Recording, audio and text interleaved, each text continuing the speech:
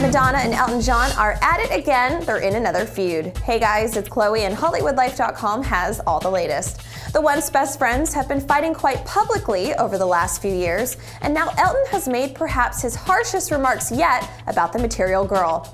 In an interview for Australian TV on August 5th, Elton not only declared Madonna's career as, quote, over, but he added that she looked like a, quote, fairground stripper. The interview aired on Australia's Channel 7 program, and he said, quote, why is she such a nightmare? Her career is over, I can tell you that. Her tour has been a disaster, and it couldn't happen to be a bigger, well, you fill in the blank.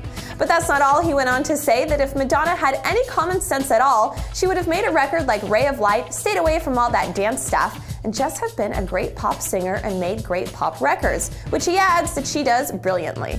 At the Golden Globes earlier this year, Elton and his partner David Furnish publicly dissed Madonna after she beat out Elton for Best Original Song. Elton has also taken public swipes at Madonna in the past for allegedly lip syncing on stage, but for the most part, Madonna has kept her cool and hasn't really risen to the bait. See these arrows? Click on them for the next or previous stories from ENTV. And for all things Hollywood, log on to HollywoodLife.com. And don't forget to subscribe to ENTV for all your entertainment news first. Hey, I'm Nolan Gould, and you're watching ENTV. Hey, I'm Rico Rodriguez from Modern Family, and you're watching ENTV.